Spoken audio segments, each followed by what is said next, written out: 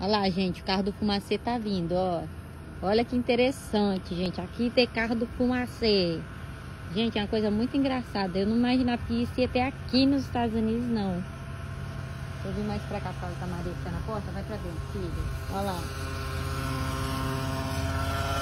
Fala se aqui não tem carro fumacê. Olha aí. né, Maria? E lá retorna ele novamente, ó. Passando.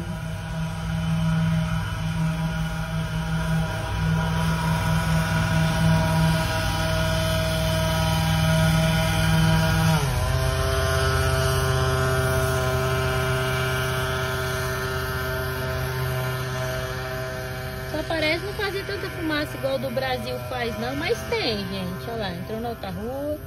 É com um pouco ele vai, sai por outro e vai fazendo com zigue-zague, ó. Fica fumaça solta.